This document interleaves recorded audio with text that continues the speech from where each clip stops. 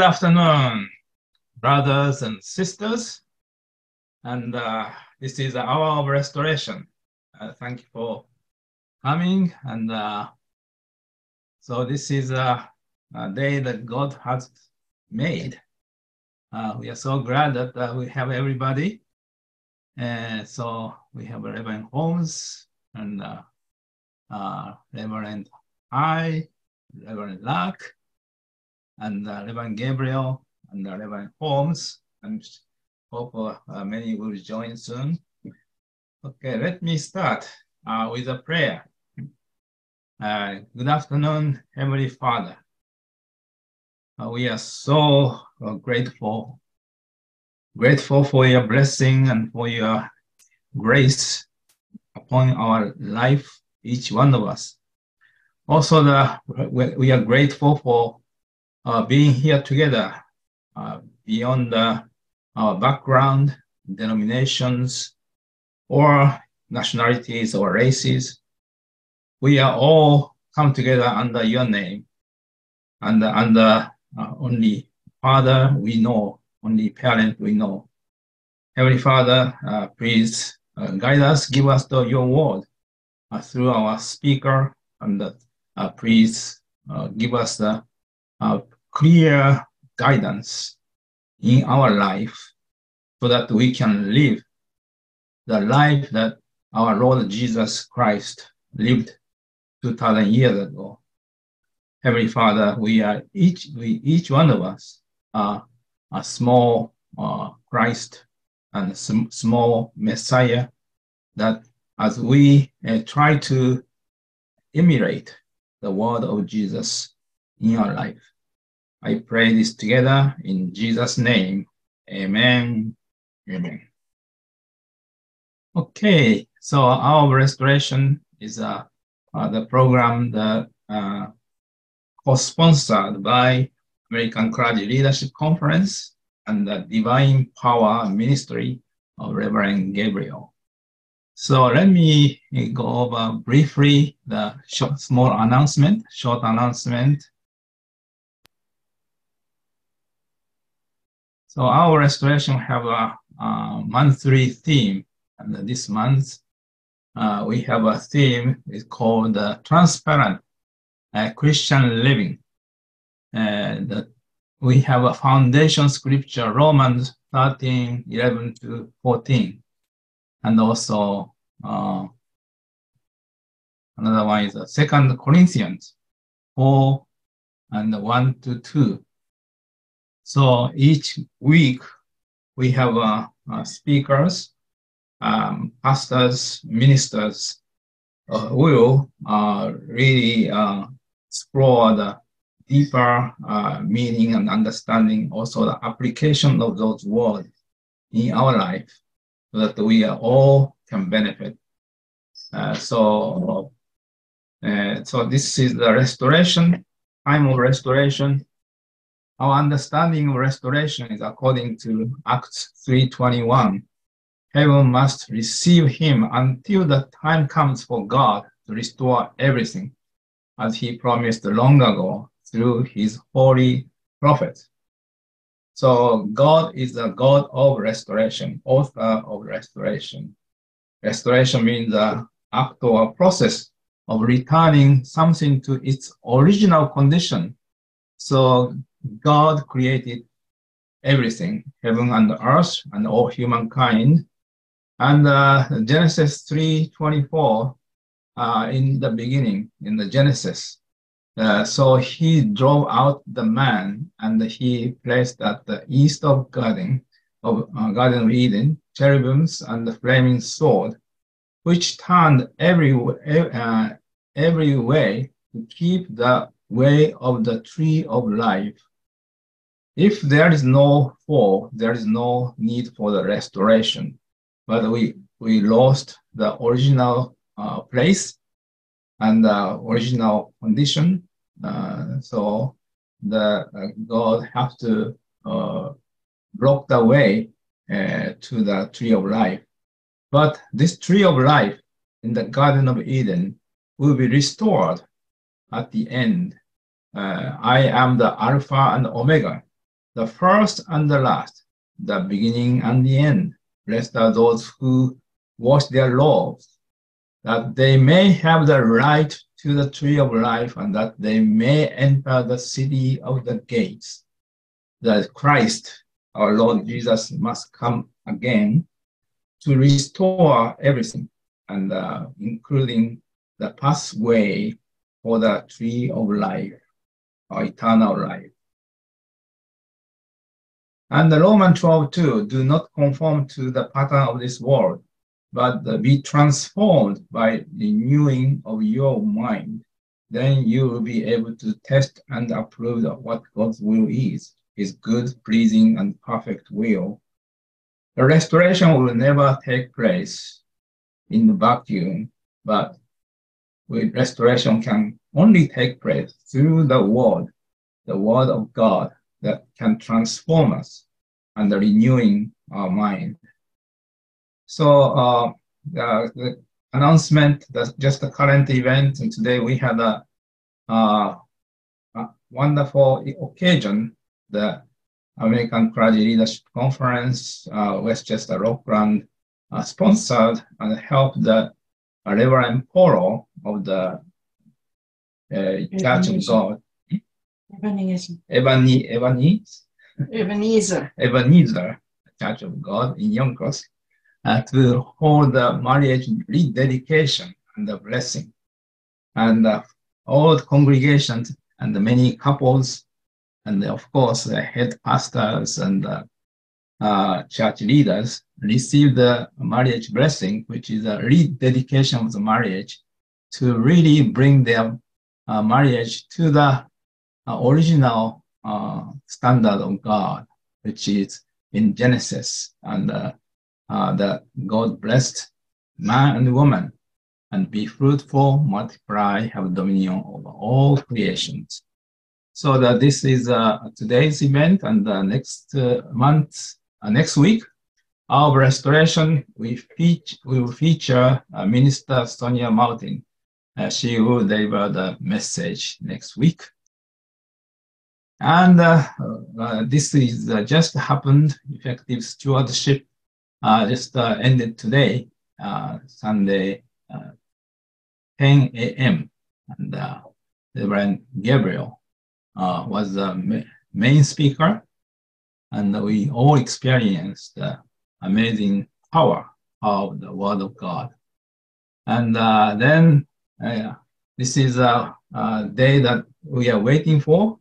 Divine Power Ministry International presents the Prayer Summit the future of the church. Uh, we have a featured speaker. Uh, main speaker is the Bishop Roger Mackenzie and also the Reverend Holmes. Uh, and also that we have a prayer uh, reigns uh, by the evangelist Sonia Martin and also, of course, the Reverend uh, Gabriel. Uh, this is going to be an amazing event for the, all the pastors and ministers and evangelists, uh, all uh, leaders, leadership of the church uh, will come together to seek the uh, uh, inspiration about the future of the church uh, through the prayer. So Saturday, June 17th, so next Saturday, 10 a.m. at the St. Thomas AME Zion Church 54 West Street, Haverstraw, and New York. Uh, please uh, call us or contact us and uh, so that uh, you can be registered and please come on, on time at 10 a.m. Okay, that is all uh, announcement I have. So let's begin the, our restoration. Okay. So we want to ask, uh, hmm. well, Reverend Holmes, uh, could you uh, pray and open up uh, our restoration, prepare us, us for the uh, word we're going to receive, Reverend Holmes. Let us pray. Most gracious God, we come before you this afternoon. Thank you again for your mercy, for your grace that knows no limits or any, or any bounds. We pray that we are gathered together today under this canopy of love, that your light would shine down upon us, and anointing would fall afresh upon each of us who are here. We pray for the speaker for this afternoon, that you would anoint him from the crown of his head to the soles of his feet, to hide him behind the cross where thou hast died. Let his words be words of power and authority coming from the right from the throne of God. Give us, your people, ears to hear, a heart to receive, and a mind to comprehend. Then bend our will to your will, God, that we might do your work while we still have breath running through our veins. Have mercy, God, upon us today on this endeavor that we are undertaking, that we will leave here fruitful, having heard and shared in your word. Be merciful to us again, is my plea. In Christ's name we pray, and we say amen and amen and amen.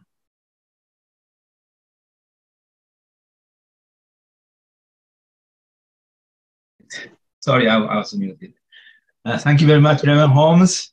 So let's uh, begin uh, uh today's main uh, message uh, by the our own Edward Edner, Reverend Edner Pierre Louis.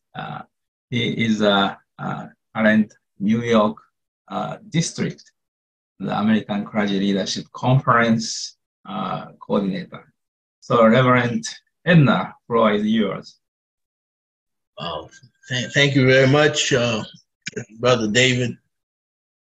Uh, beautiful wife standing right there behind you. Thank you. Uh, I thank all my fellow pastors, my brothers and sisters. I'm especially happy to see Brother Phil, Phil High. He was at uh, service today, and uh, at uh, 43rd Street, and I told him about the hour of restoration. He told me send send me the uh, the uh, link, and sure enough, he followed up, and there he is. Uh, thank you. Thank you, brother Phil. Uh, brother Phil is an expert in uh, mental health issues, issues having to do with mental health, and he's also he comes out of the the medical profession.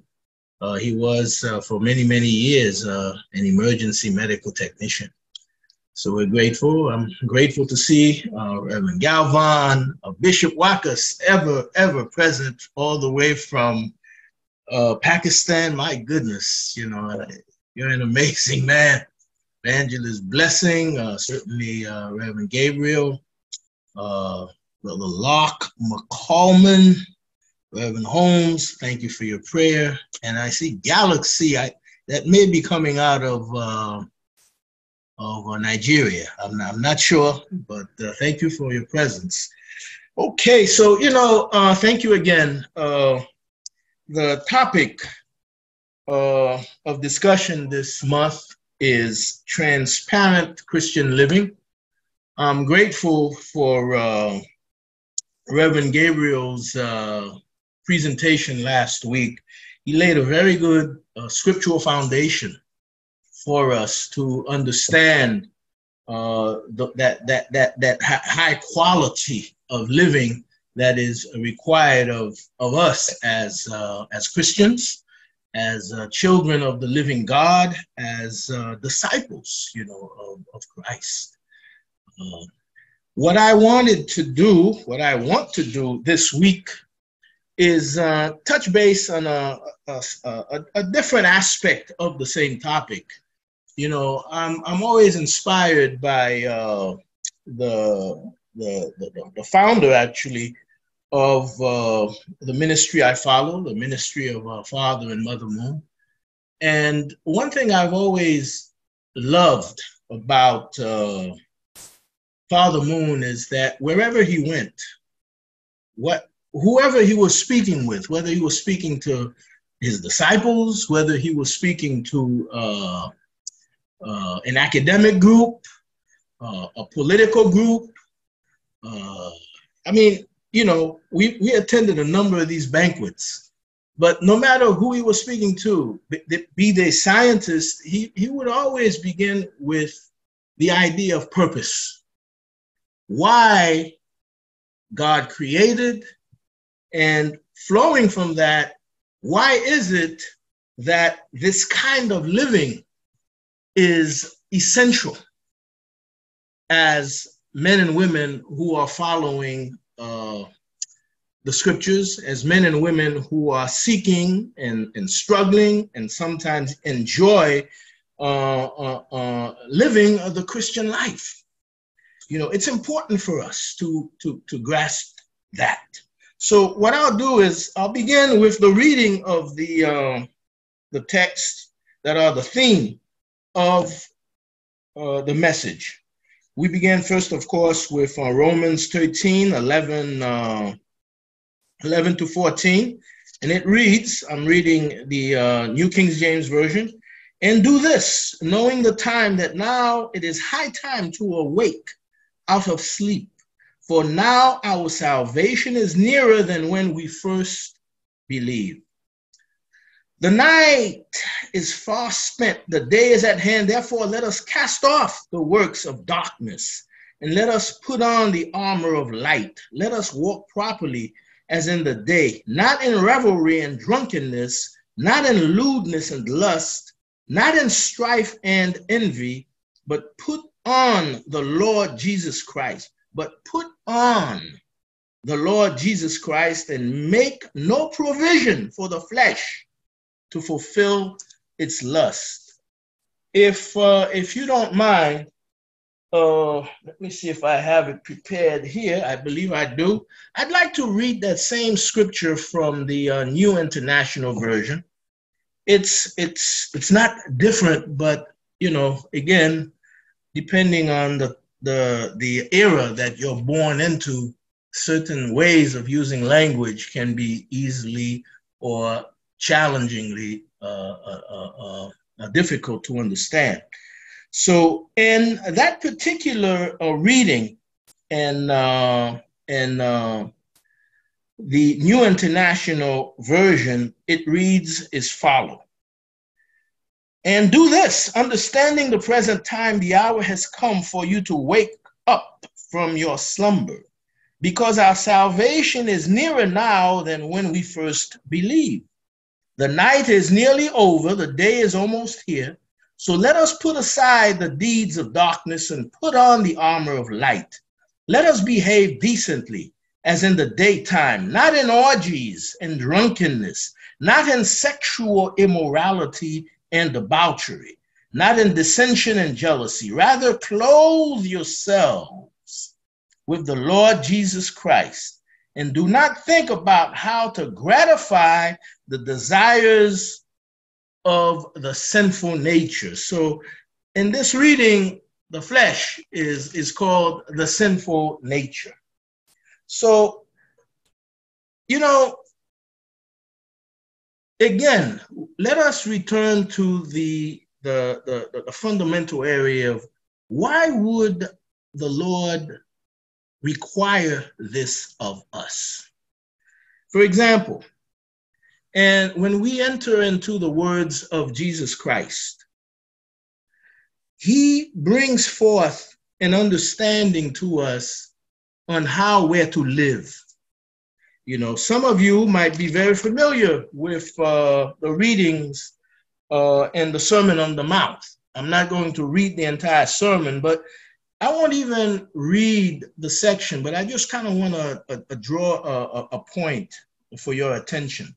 When you enter the Sermon on the Mount, and you go to, of course, it's in chapter five of uh, the, the uh, Gospel of Matthew, and you read from uh, 13, chapter 5, verse 13 to 48.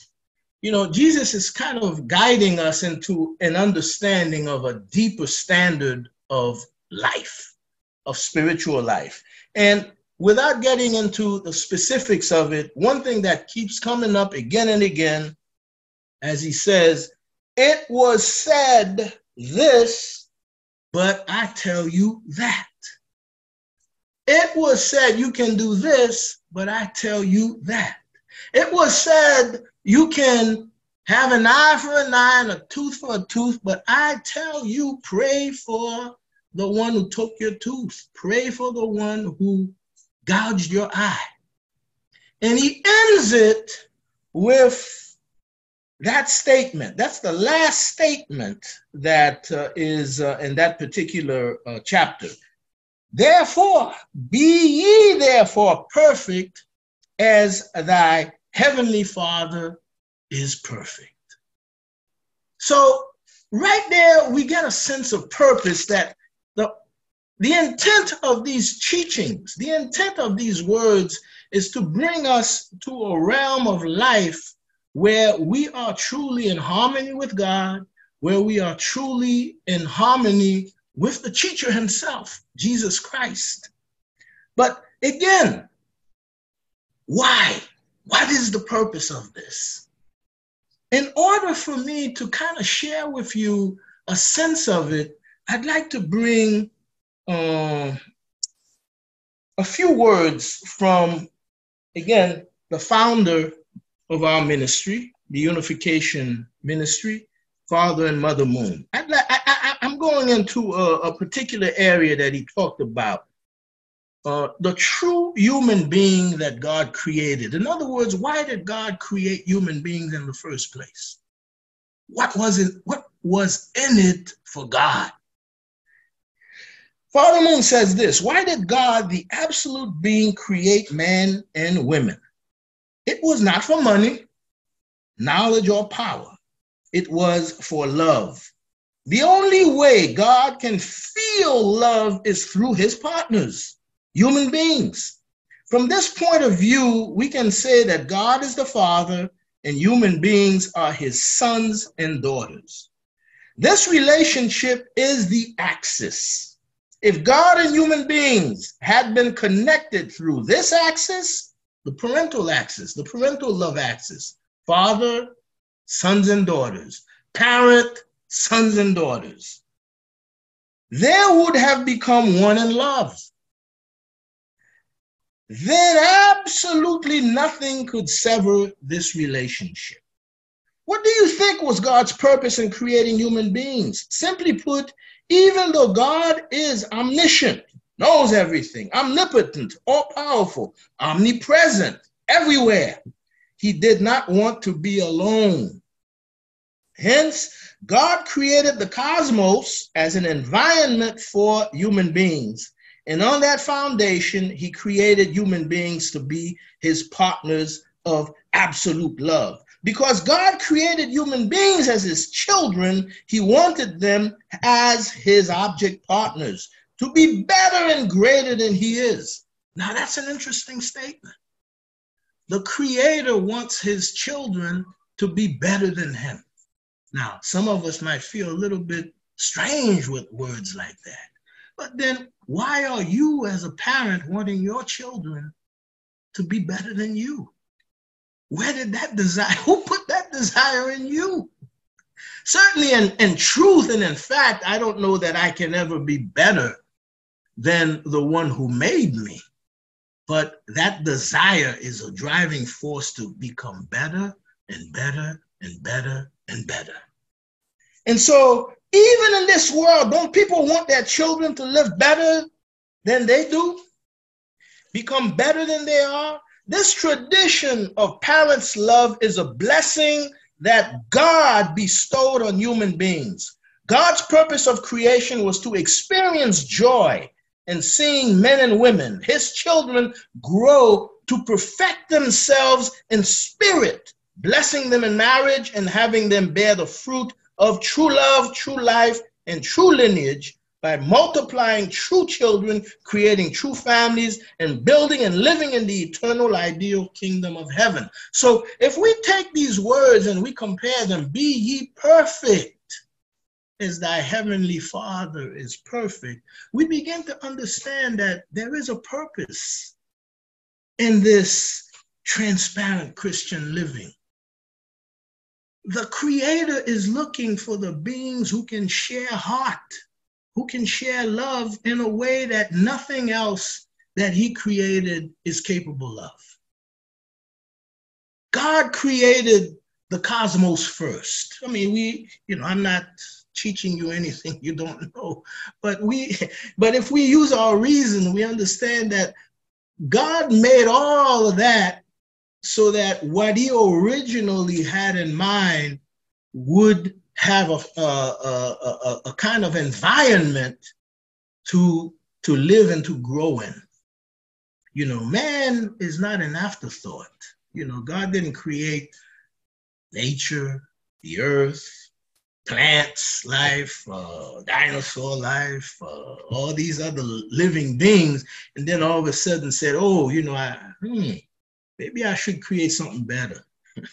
no, God intended something better from the beginning and created step by step an environment for them to come in for the purpose for the purpose of having a being who can share love with him as never before. So it's important that when we speak of the transparent Christian living, we don't just speak of it as an end in itself. The purpose of becoming such people, such men and women, is to bring the deepest experience of love and joy with our Creator and with one another. The Lord taught us these things when He was on earth. You know, sometimes even as He walked about, He looked for certain qualities in people that would give us a hint on, you know, the, the, the, the, the, the kind of direction that He was guiding us into. You know, I recall, for example, when Jesus, uh, some of you know, uh, when he uh, came across uh, Nathaniel, you know, what did he say about Nathaniel? What, what, what, what statement did he make about him? he clearly said that, you know, this is a man in whom there is no guile, no falsehood. He, he, he, he could read something in the man's nature that was in line with heaven's standard, or at least seeking to achieve it we can go even to uh, the scriptures prior to the coming of Jesus and find certain characters who, whom, whom God deeply cherished, in spite of their their their uh, their mistakes, in spite of their shortcomings. You know, sometimes uh, it might be difficult for us to uh, be people who uh, might you know compare our our nature or our uh, standard with that of uh, Jesus Christ himself. Because we saw in him a, a, perfection that is achievable but we we don't hear of situations that brought him into you know sinfulness repentance so to speak you know. But if we go back who in scripture would we uh, uh, uh, consider as somebody who is kind of like us, or at least some of us might might really deal with with with with, with that, that fallen nature. But still god was able to penetrate in him. God's spirit was able to find something special about that person. Well we might have different ideas but in my mind one of the people i find who is uh, like that was uh, king david King David. you know, Brother David Okamoto. Why? You know, when you think of it, the finding of David was in itself miraculous. It's not like God didn't know that there are faults in the man's character. In fact, God went through the entire family and said, Is there is there another one? And the father was kind of surprised. Yeah, yeah, I have a little one who's tending the sheep. And sure enough, you know, the prophet Samuel was guided to that person, you know. And we know about David. We know about his life. We, we, we, we, we know about his sins.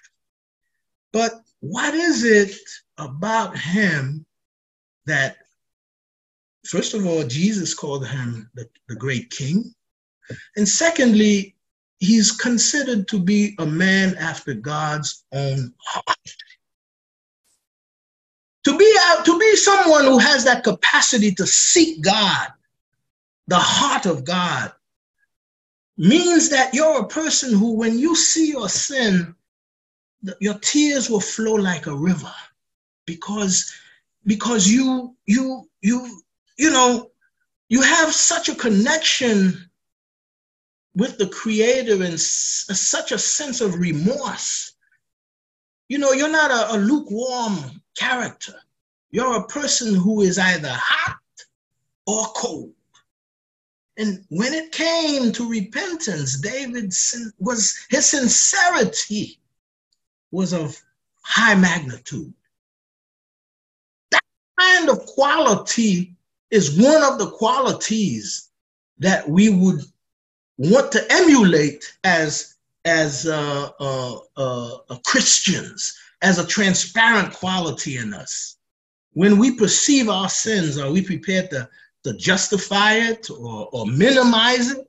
Or do we perceive it as such an affront, such a painful act towards our Creator that, that our repentful cry is, is, is, is moves the heart of God, moves the heart of God. That's a quality that God is seeking in each and every one of his children. And so we look at the examples of these men, and yet at the same time, we can say, well, yeah, you know, I'm, I'm, I'm like David in some respects. I have those faults, you know, but do I have the heart that seeks after God's own heart? How do I pray to achieve that level of uh, transparency? When we go to the scriptures and we read uh, Galatians uh, 5, uh, verses 13 to 25, again, not to prolong anything, you're familiar, many of you, with the fruits of the Spirit. Those are qualities that are fruits. A fruit happens, a fruit doesn't just come out of a tree immediately. It's only after the tree has grown, has developed, has weathered the storms that those fruits begin to manifest. Uh, at first, they may be a little ripe, but eventually they mature.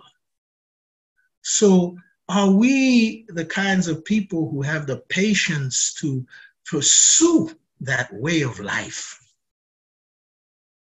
such that those fruits can mature in us? For what purpose? For what purpose? Always go back to purpose so that we can be the people who bring the deepest joy to God because God is looking for relationship. But what beings can give God the deepest level of relationship? It's not angels, it's not the animals, it's human beings. Because God infused in human beings certain qualities that are like Him. The quality of love, the quality to become parents, the quality to love one's neighbor as oneself. And he gives you one that's some very close to you, your spouse, because they'll bring out stuff in you that even your brothers and sisters uh, uh, uh, never saw or, or weren't of the mindset to pick up. But your, your spouse will. For what, for what purpose, though? For the purpose of you rounding yourself out and becoming a man who can truly love the Lord as creator and being grateful for what you've been given and to love your neighbor. And of course, your neighbor, certainly your spouse, but of course, your, your society, your environment, your, your, your, your relatives, all of these people, uh, even, even, even the stranger, even the stranger, right? I mean, we know that because Jesus gave us the example of that, the, the, the, Samaritan. You know, Jesus laid out the, the story first and then asked them, well, who, who, who, who was this man's neighbor? You see, was it that priest? Was it that Levite? Or was it that person who in society you tend not to want to be around. And yet he was the one who bound your wounds and was willing to pay for your care. You see, again, what, what is the quality that uh, the Lord is looking for? These are the qualities of transparency in our way of life that will prepare us, that will prepare us to become the true objects of God. It's not just about, you know, I, I live well, I live good, I'm honest, I'm sincere. Why? God is building a world. God is seeking what he desired from the very beginning. That's what the beginning point of this uh, this gathering was about restoration. Restoration means to undo the damage, but also after that is done to take it to where it was supposed to be from the very beginning. So, in a way, we're breaking new ground with the guidance of Christ. We're breaking new ground because there are places that humankind has not yet touched base. This is the first time. You know, we're learning to be parents in ways that were not established before. God centered parents. And I'm, I'm, I'm of the view that this is, this is the time that this, this, this, this reality will come into play. Because I'm looking around my environment and I'm seeing things manifesting in society whose intention is to destroy the very structure that God intended to redefine the very structure from the very beginning. And it's taken a hold that has never, I think, in society in the 6,000 years of human history arrived at that level, being supported by powerful forces, by powerful nations. So we have to ask ourselves what is God seeking? God is seeking true human beings, transparent human beings who can show what the fundamental purpose of his creation was. And so I'm going to end with this statement. I believe that the purpose of transparent Christian living is not something that we do just for the sake of being the light of the world. Indeed, God, Jesus called us to be the light, but the purpose of being the light is to draw others. So, just as Jesus said, we are the light of the world, we're to put on the character of Christ that we too in this earthly existence, not in the hereafter, right here, can draw men unto him. And through him to the creator, to the parent, to the father, to the mother. Number two, to become the proper citizens who can be the true love objects of God, to be transparent. You know, Father Moon has a way of of putting it. He, he, he talked, Father Moon would say high noon settlement, high noon. What happens at high noon? You know, if the sun is right centered above you, what is it that doesn't show? Shadow. You have no shadow. You know, if shadow is darkness, if it represents darkness, if it represents an angle and you are living a life of no shadow, it means that you're clean, you're clear. That's the kind of object that God is seeking. That's the kind of person, in fact, that's the kind of person who, tr- who can truly have the deepest relationship with God.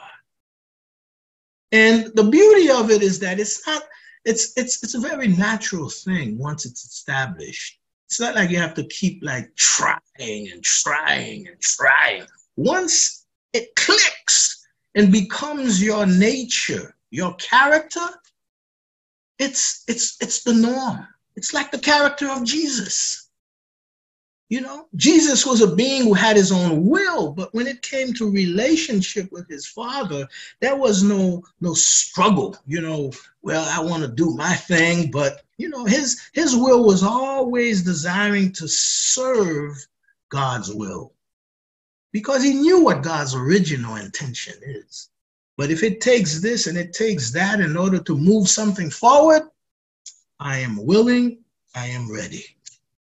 I'm not in struggle.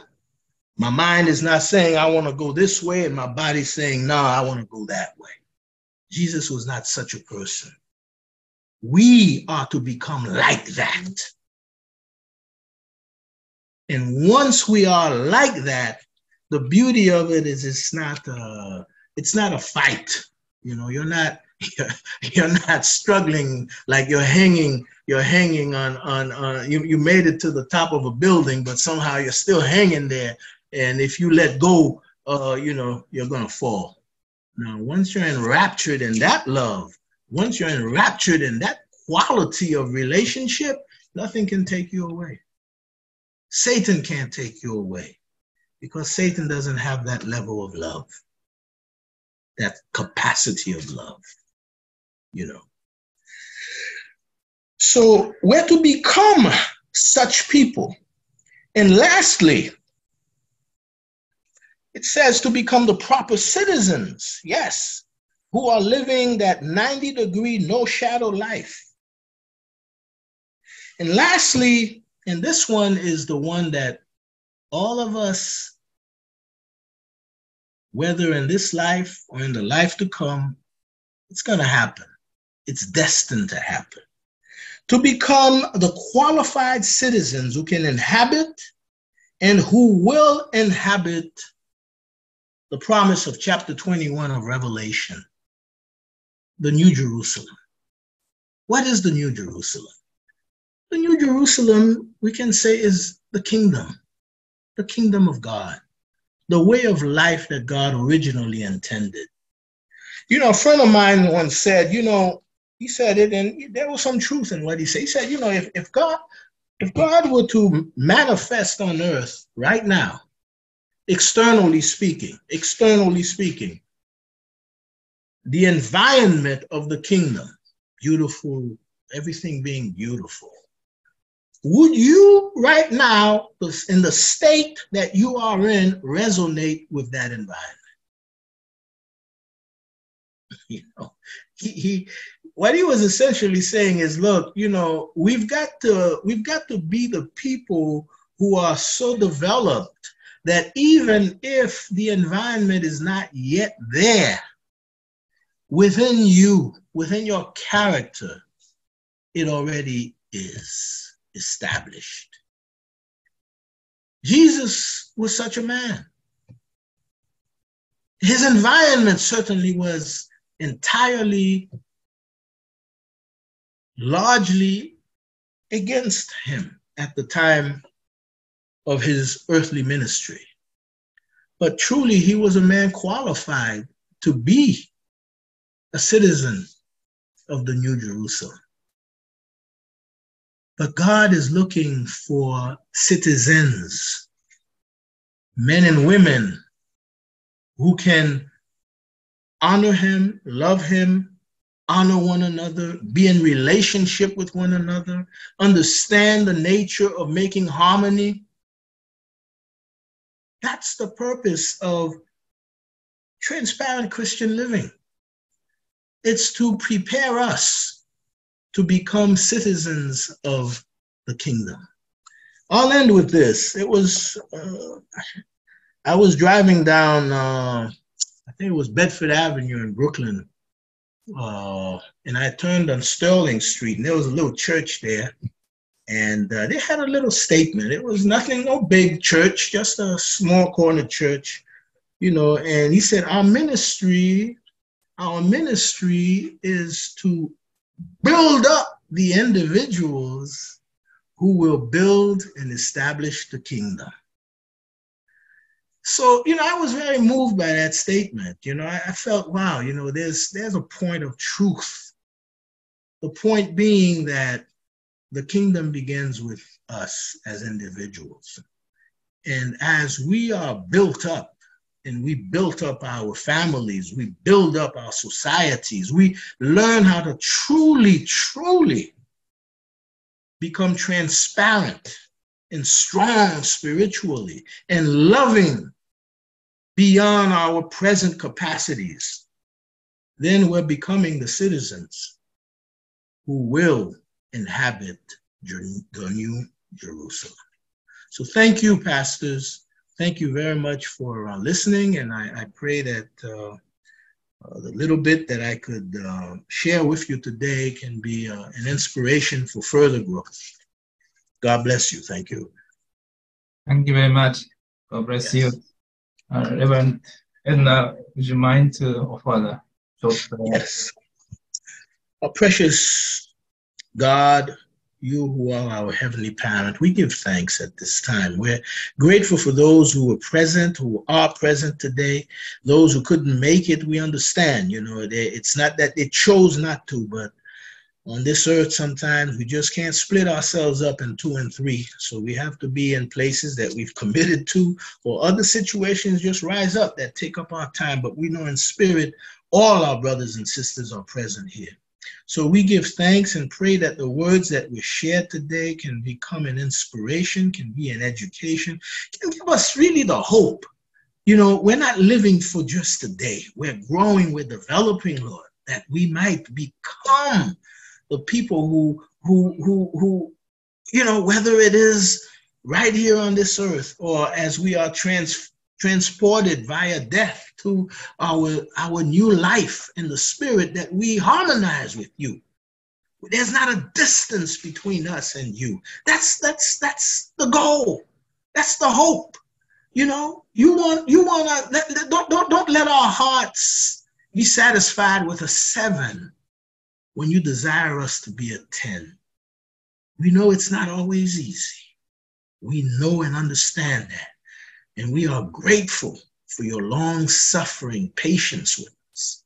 But ultimately, we want to desire your, we want to fulfill your desire. We want to, to, to, to, to be the beings who fulfill everything that our, uh, our forebears desired. For even in the book of Hebrews, it says that what they hoped would depend on us at this time. So we stand on their shoulders. But in the fulfillment of your will, we pray that the blessing be not just ours, but the unfulfilled hopes of all the saints who preceded us and gave us a platform to stand on. So we're grateful and we're thankful at this moment, at this time, as we lift these words up and offer it on the altar of your Son, Jesus Christ. Amen. Amen. Amen. Thank you, Reverend, Reverend Edner. So it's uh, Thank you. such a deep, deep and wide and uh, so wise.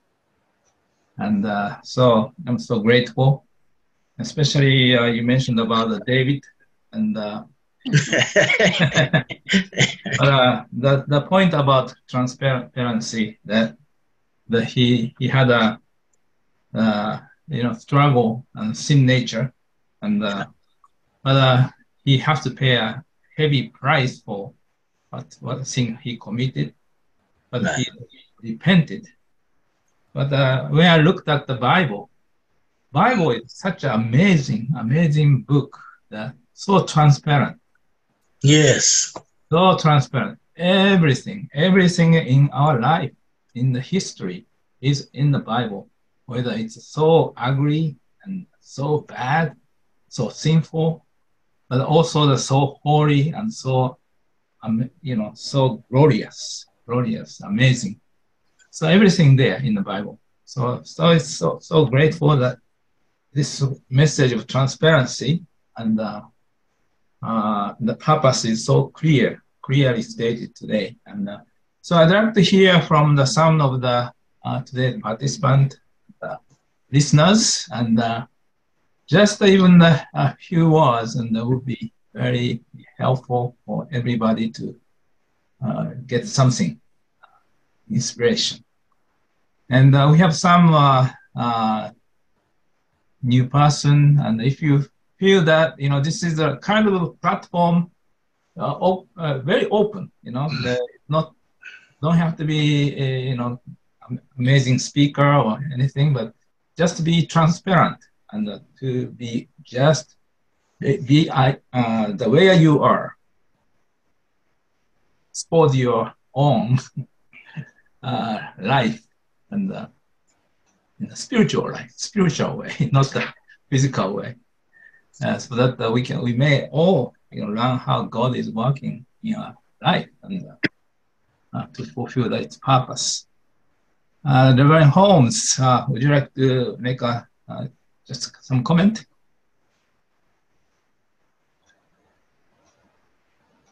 Yeah, yeah, okay. Yeah. Can you hear me? Yes, I can hear you. Thank God for the opportunity to hear Pastor Edner uh, preach, teach. It, is a cause for self-examination.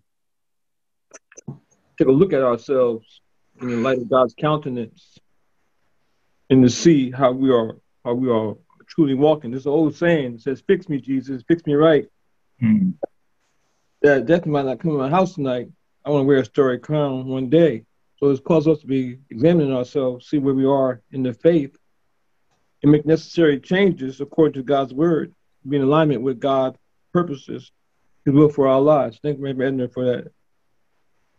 That uh, provoking, for to provoke us to think more and think more, think about who we are, where, where, where we are with God, where God would have us to be. So I thank God for the message this afternoon. Reverend uh, Holmes. Thank you. Also, we looking look forward to hearing from from you next next Saturday and at your church. Thank you, Reverend Holmes. And, Reverend uh, Holmes will be speaking on the, the power of prayer in sustaining the church. yes, That's a Tough topic. Amen. I- I'm, I'm gonna yield my time to Reverend Edner next week.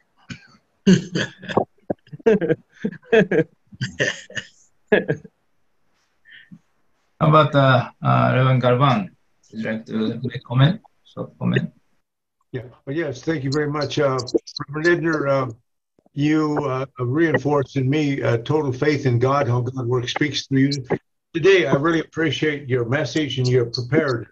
I think you put the double P. You put the you put the prayer and you put the preparation behind your presentation. I appreciate your emphasis on uh, when you went into, especially Matthew, and uh, you went into the, the, the, Sermon on the Mount, and you went and shared with us the blessedness of people who are righteous.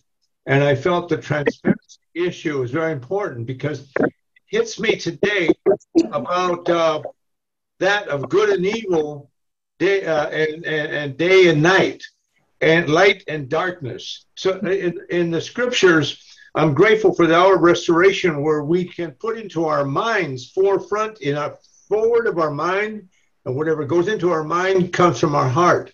And I felt that the purification of your message was uh, very vital and helped me to resettle more in the heavenly words of Jesus Christ. You know, it's like, for instance, it, uh, you know, there seems to be in this Romans, in the book of Romans, there seems to be something about inclusion and exclusion, about the Jews and the Gentiles, and about this, about missing the point about is it food and um, is it, uh, you know, what exactly it says here uh, in, in, the scriptures in 14, and it says um, here that uh, 17, 14, 17, for the kingdom of God is not food and drink, but righteousness and peace and joy in the Holy Spirit. And I felt your message just really, just really, just kept right on that line to me and helped me understand more that it's it's really there's I think that this time I think that Paul was talking here about an issue about envy and even between not just between the fleshly life but also between churches between religions and, um, and groups of people. And he came with a message let's get it back online folks. Mm. said repent for the kingdom of heaven is at hand. And i really felt that um, uh, you know when you talked about no shadows I understand that. You know, it's like you know, you know what? You know, you do you have anything that you can uh, not be proud of? You know, and uh, you know, it's like I know sometimes you know when I'm when I'm in in the presence of someone very prayerful, I know that they can know before I even speak what's on my mind. And I feel very much as dealing with a, parent and a child. Child comes to the parent. Sometimes when the kids come home from school, you could say to the child, uh, you you ask them to be kindly, you know, how was your day? But you know already what the, how their day was because you can read their mind. God can read my mind before I even pray. He knows what's on my mind, and I think very much is uh, uh, your your presentation was very mindful, mindful of God's mind. We given me that mindset of God, and I really felt it was very precious. And I want to thank you very much because I think that this week, when we had the ashes that came from Canada, that darkness hit New York. New York was the most polluted, the most contaminated uh, city in um, the world. In the world, with these ashes, it not only got into uh, our uh, our body, and but it get, gets into our blood. Just like we have to understand the Adam and Eve fall. That that was the contamination, a, a, a spiritual abomination where we sinfully cut off our relationship of love from God. And I think the only way now is today we were able to purify our mind, our eyes, our ears, our mouth, everything by hearing the word of God that you gave me. And I, I thank you very much because you must love in order to, to, to really, you know, like Jesus, Jesus did not come to subjugate, to judge the world. In John 3:16, God so sent his only begotten son to not to judge the world, condemn the world, but to love the world. And love is the bottom line. Pure, pure love. And that's transparent. Thank you very much, Reverend Ed. Mm, thank you. Reverend Galvin, give glory to God. Amen. Uh, uh, Pastor Morris, De- De- Deborah Morris, uh, thank you for coming. And uh, you know you are so busy, and uh, but you are really trying hard to come to our platform.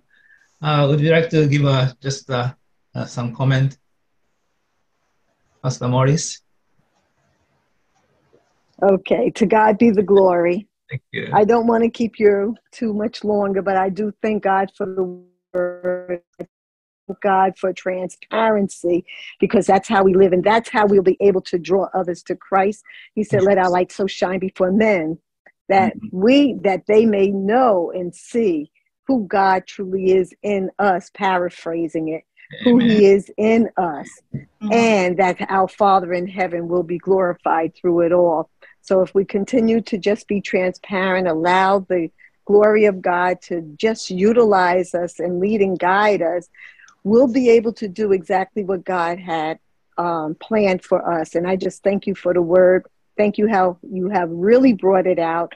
And like it was already stated, all the study and to pull the scriptures together just to help us in these times because we all need it, not just the people that we congregate, uh, that congregate under our voices, but also for pastors that we could continue to continually be built up. God bless you so much and thank thank you. Thank you very much. Pastor. Thank you.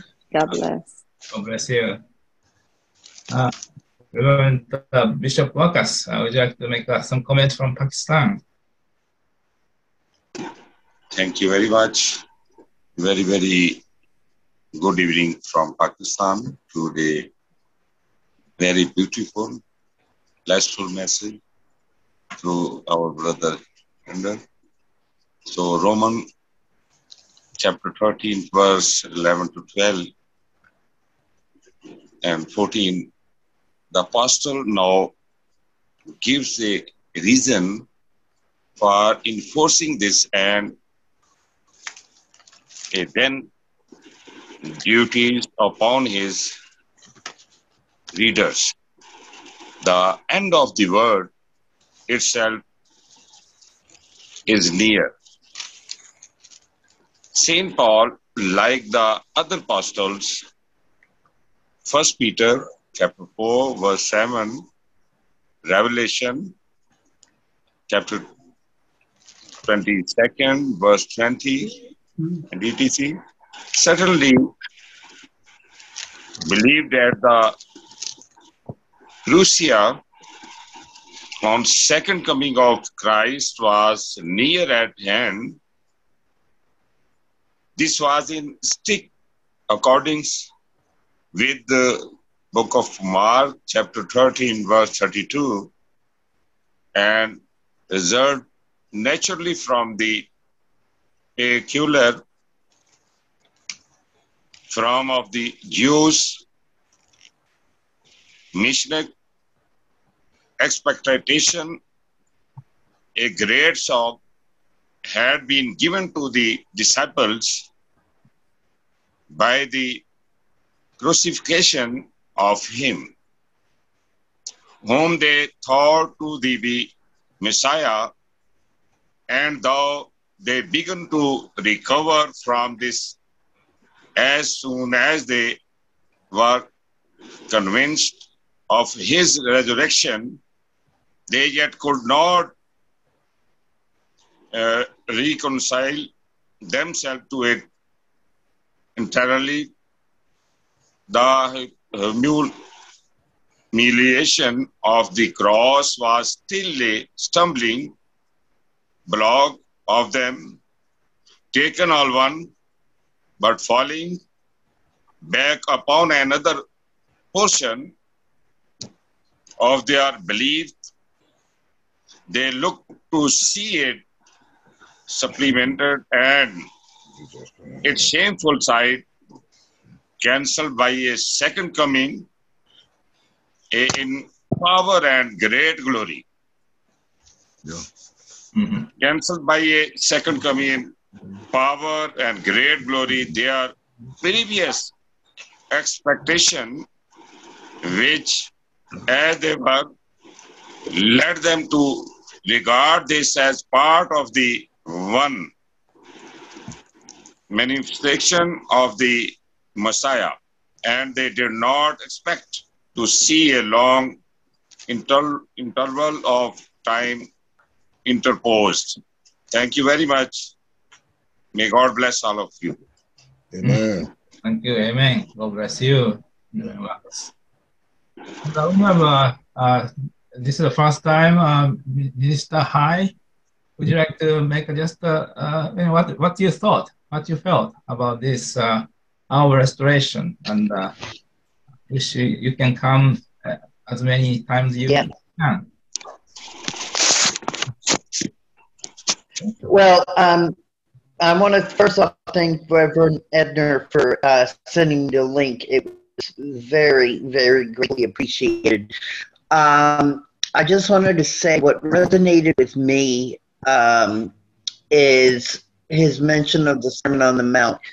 Um, you know, he did forget to mention that I am uh, the director of Manhattan Church's Global Health Ministry but that's okay because uh, it's about glorifying me it's about glorifying god so um, basically sermon on the mount where he mentioned that uh, you know love your uh, enemy you know pray for your enemy you know um, reverend edner uh, did mention that i am uh, within the healthcare profession as an emergency medical technician. And uh, I was on duty uh, the day of 9 11, not here in the city, but upstate. And we were put on standby uh, for response uh, down to the city. Um, and I had a problem, you know, with ever since 9-11 uh, the muslim uh, faith you know has received a lot of anger and criticism over 9-11 and from my research of it and everything uh, the muslim faith itself is a peace-loving religion. You know it's just a few uh, radicals who take it too far. And actually you know uh, this afternoon you know, I made arrangements to speak with an imam uh, at our local mosque here in Brooklyn, you know, uh, to learn even more about the Muslim religion and hopefully get over, you know, this, um, I don't want to say hatred, but this, um, uh, this aversion, you know, to the Muslim religion you know. Um, so I will be uh, meeting with this imam, uh, this imam tomorrow, you know. So please pray for me for that. You know. Um, and as far as the global health mission, just a little quick plug with that, we are looking for other churches. Um, and uh, especially churches that have uh, early admissions uh, in their uh, uh, within their congregation to partner with.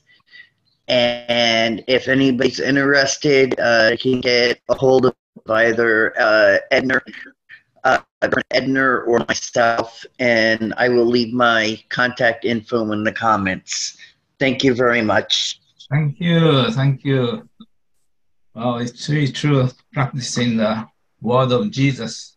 Love your enemy is a uh, in a practical sense that uh, what you're doing is exactly like that. Thank you. And uh, we have uh, uh, Reverend Bruce. Uh, thank you for your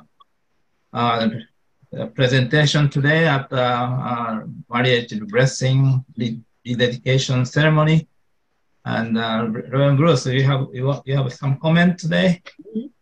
Uh, just, I, yeah. Good good afternoon, everyone. Thank you, Reverend Edner. It was a great. I always um, I really enjoyed listening to you because uh, as the pastor, one of the pastors of the church uh, was sharing today, or a minister was sharing, sometimes our we have to get practical. Our our faith and religion has to get more on the practical side. You know, you know, and and uh, so it's yeah we need balance as as people of god because god is balanced you know god create god is the same creator that created the universe and uh, you know all the laws and everything in this in this whole universe i mean is you know and but when you said you know it's interesting i mean when when you mentioned that even god would want his children to be better than him that you know these are these are interesting you know thoughts. I mean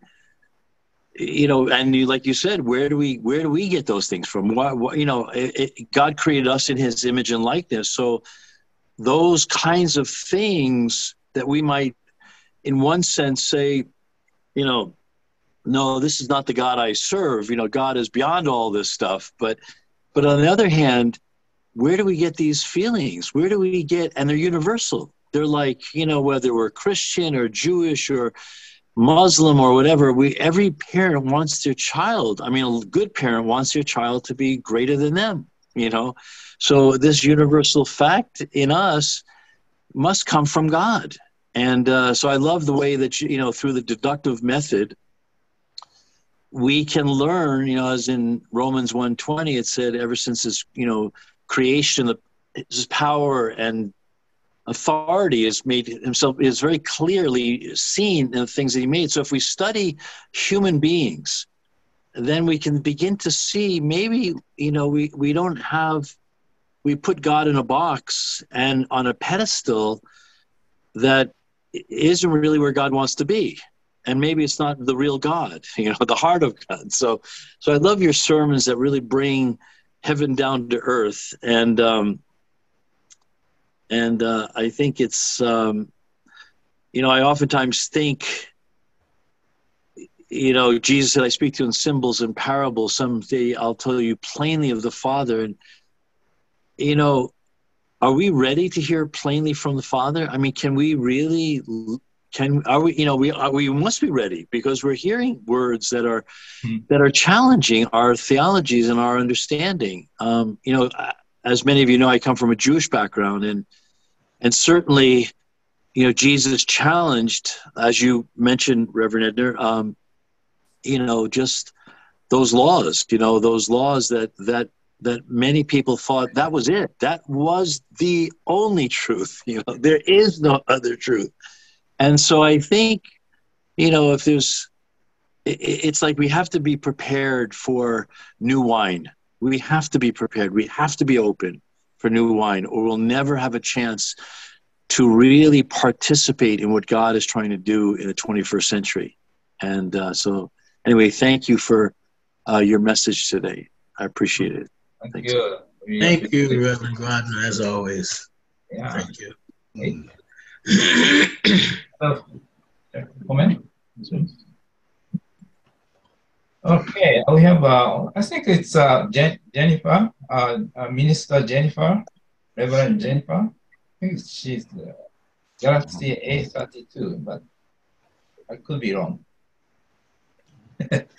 okay. Oh, Praise the everyone. Praise God. We just want to give honor to God. Um, and I just want to say more grace upon your ministry, Reverend. And uh, I just love to reach you. As Pastor Gabriel has opened up the floor, he laid the foundation, then you start laying the blocks, start the building. And that is great. Your word today was powerful. You do some great digging and searching, and you bring the word so open and so transparent for and a lot. We get a, I gather a lot from it, and um, especially when you talk about the Sermon on the Mountain, and when you talk about Christian to be it's supposed to be transparent. I am really applaud by those words because um, nowadays leaders, there are very few who are blood washed and rooted in Christ are even are really transparent. Some of them have so much baggage behind them. And so because of that, you see they dilute the word of God. And so they try to prick it up, bringing in different different stuff like, you know, prosperity, how to build church with money and stuff like that. They're not transparent. But I'm glad that there's still souls that are out there reaching out for the truth and to spread the truth as um you know we're no more drinking from the bottle we are eating hard food now so we have receiving more and more. And this is our frustration. I just pray for more grace upon our reverend um, um, gabriel and the brother david and his wife who started this of restoration we just thank god for these people. We just pray god strength and grace upon them continually because this is powerful. Because it doesn't matter how many college we go to there are so many things we need to learn. And so we get we gather from one another you know and this is how we uh, we are able to build our ministry by learning from each other. Hmm. And so i thank god for your ministry upon your life and i pray for more grace and i pray that god will increase knowledge wisdom and understanding more in his logo for you my dear brother in the name of jesus. Amen. And thank you. You're welcome Yeah, so your word is so encouraging and uh, encourage us to keep going. You know, no matter what happened, we'll be here uh, every Sunday, 5 p.m. Reverend Gabriel, uh, uh, give us your final re- remarks and uh, closing us with a prayer. Reverend Gabriel, please. Praise the Lord. Praise the Lord. Uh, again, we want to appreciate uh, our own Reverend Edner. God bless you, sir. Thank you. More, more anointing upon your life and ministry in Jesus' name.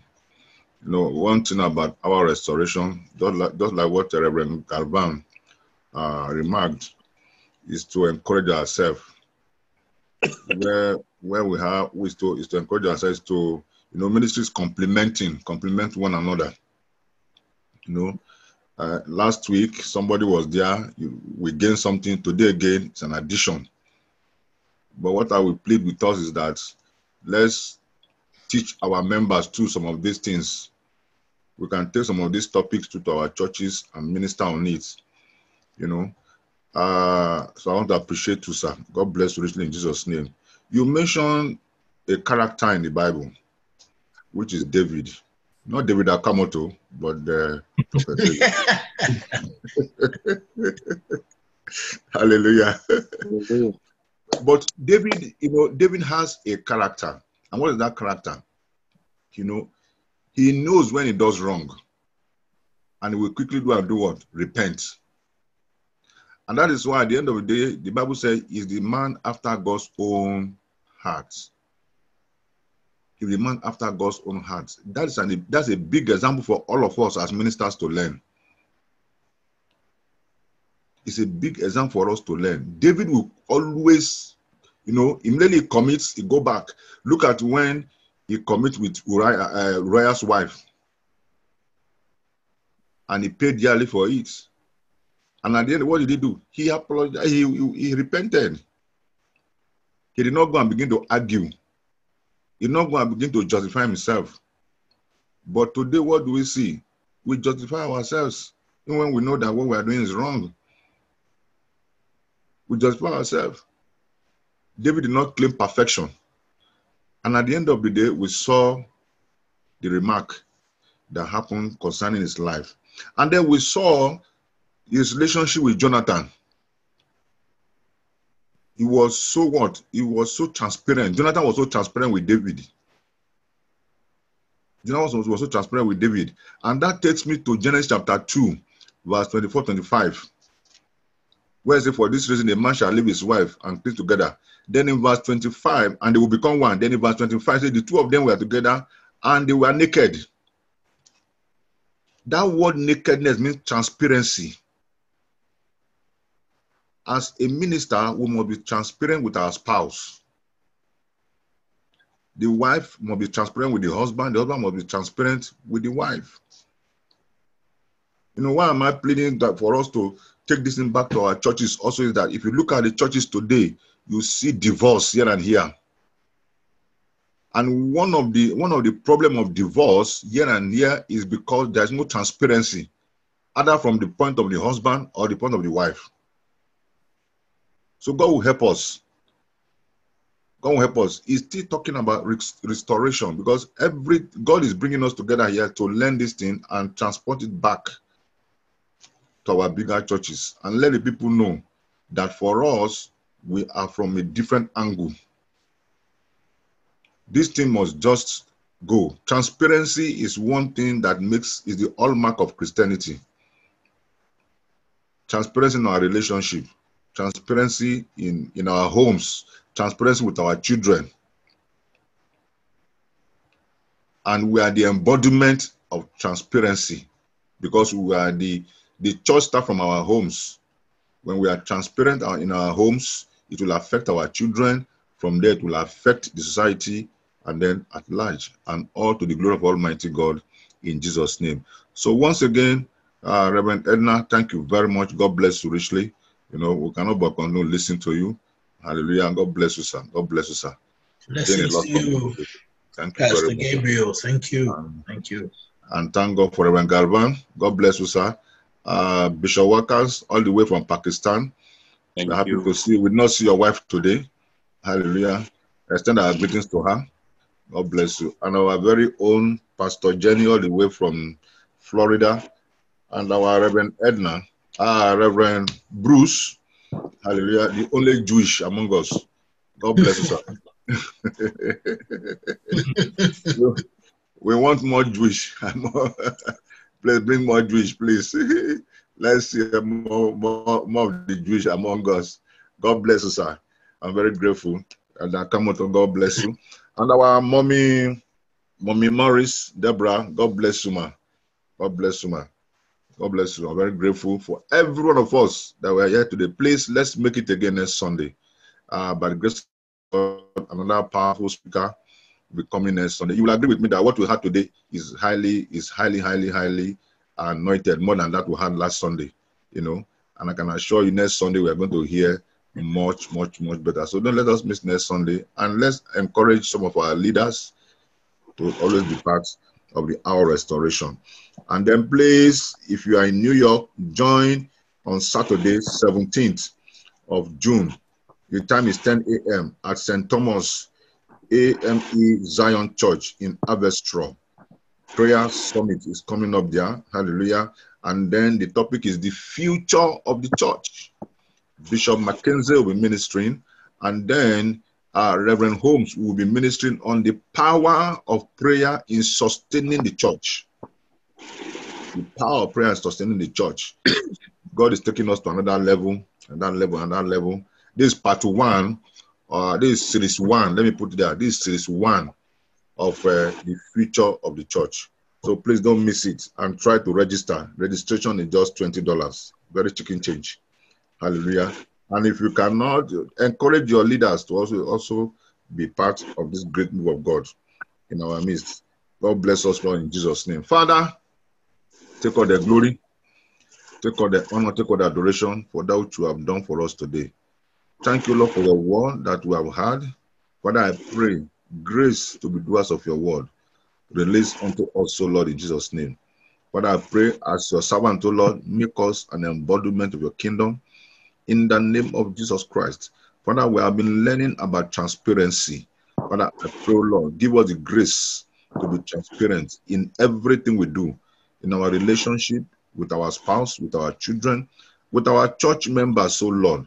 Father, now help us, O Lord, that at the end of the day, we shall all rapture with you. In the name of Jesus Christ. Thank you because of the mighty God. Thank you, Lord, for your son, our elder Edner, our Reverend Edner that we have used, O Lord. Much has gone on. Father, I pray you will replenish him back with more unction to function in you. In the name of Jesus Christ. Take all them because Almighty God. Thank you, Lord, for our brother that is coming for the first time. Father, he will be going to see the Imam tomorrow. Go before him, O Lord. To that place in Jesus' name. That when he gets there, Father, you will have prepared the ground for him. And they will come back with testimony. In the name of Jesus Christ. Father, this brand new week, O Lord, protect our going out, our coming in. Grant us favor, Lord. Grant us divine preservation. In the name of Jesus Christ. Take all the reports, Almighty God. Father, King of King, Lord of Lord. It's all about you, not about any man. Take all the glory, take all the honor, take all the adoration. For in Jesus' mighty name, I do pray. And until we meet again next Sunday, the grace of our Lord Jesus Christ, the love of God, and the sweet fellowship of the Holy Spirit rest and abide with each and one of us now forevermore. Amen. Surely his goodness and mercy shall follow us all the days of our lives, and we shall all dwell in the house of the Lord forever and ever. Amen. Amen. The Lord. Thank you, sirs. Thank you, sirs. Yeah. Amen. God bless everybody. Thank you, Reverend Thank you all. Thank you, Everybody. Thank you, Reverend. Mommy Morris, I will. Okay, I will text you. Don't worry. Thank you, Reverend Edgar. Thank you. Thank you, David, Julia. Thank you, everybody. Thank you, Brother Reverend Phil. Okay, Reverend Reverend Roger. Thank thank you. Reverend. Bruce, Thank you. Okay. Thank you, Thank, Reverend Gabriel. thank you. God bless. Thank you, Reverend Gabriel. Thank you, sir. God bless you, brother. God bless you, Thank you, Brother David. Mm. Wish you the best of the new week. God Bishop bless you. Bishop Walker's Sister Yes. Jenny. Mm. God bless you, everyone. Yeah. Love you also. Love you. Reverend Holmes. Yes, Uh, love you. Hey. Love you. God bless you, Okay. Brother Holmes. bless you.